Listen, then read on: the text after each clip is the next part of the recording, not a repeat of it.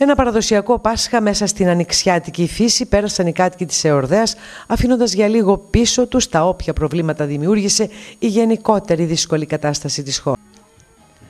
Κύριε Ραμπίδη, παρά τις δυσκολίες, οι Έλληνες το Πάσχα διατηρούν όλα τα παραδοσιακά έθιμα.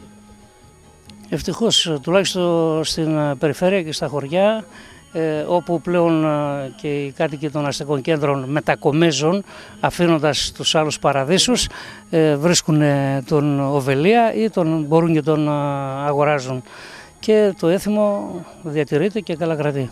Πάσχα χωρίς αρνάκι, κατσικάκι και κοκορέτσι δεν γίνεται. Λογικά ναι.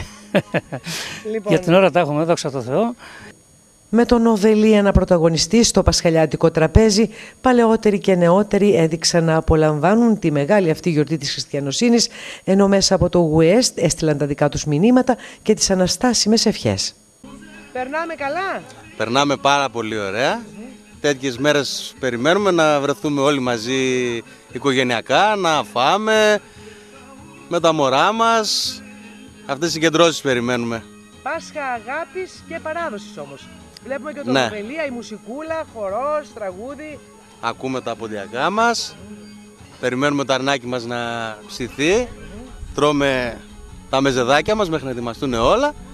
Θα αντέξουν οι Έλληνες. νέος άνθρωπος. Θα αντέξουν οι Έλληνες γιατί βλέπω ότι έχουν αρχίσει και γυρίζουν σιγά σιγά στην παράδοση η οποία αυτή μας έφερε μέχρι εδώ πέρα.